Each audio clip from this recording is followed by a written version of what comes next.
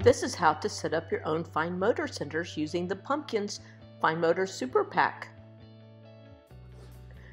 You can use chip trays, containers, cups, and things for sorting, then use some manipulatives and use a good pair of tongs. My favorite is the bamboo type tongs. Here is one of the printable tongs labs using the bamboo tongs. There are 20 different printable tongs labs that you can print in color or in black and white.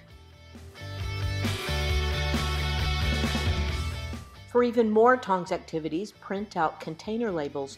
You can put them on chip containers or plastic cups or jars.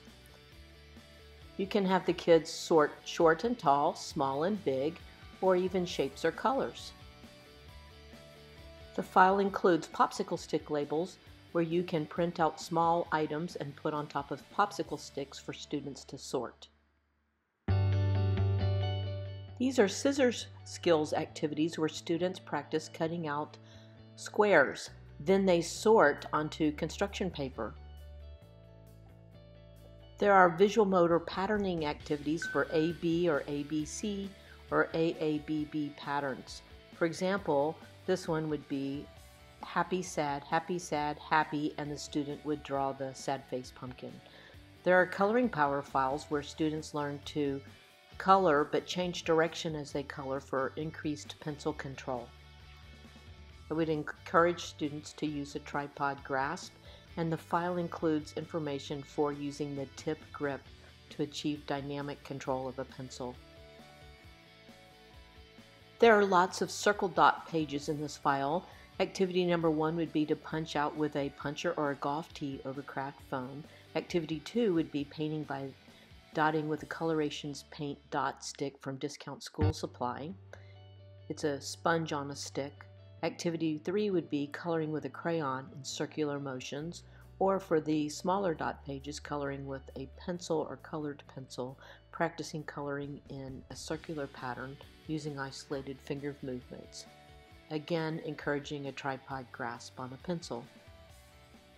Here are more punch or pokey dot activities where a student will punch along a path on a 1 4th inch circle there are four printables per page so that it's easy lab setup. The student again should use a tripod grasp. A student can use a pencil, but could also use a golf tee or a corn cob holder with one prong cut off. You can also use a push pin if supervised.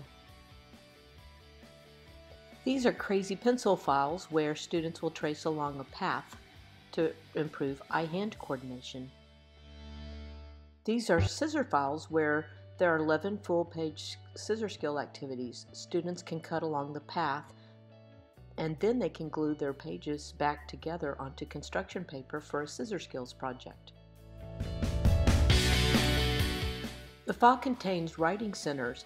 This is an outline trace and write where students will trace a letter then copy the letter directly underneath.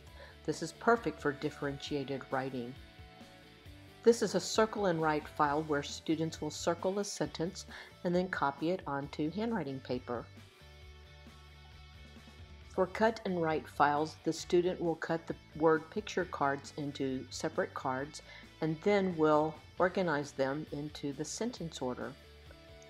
Then they can glue the cards onto construction paper and then use handwriting paper to copy the sentence.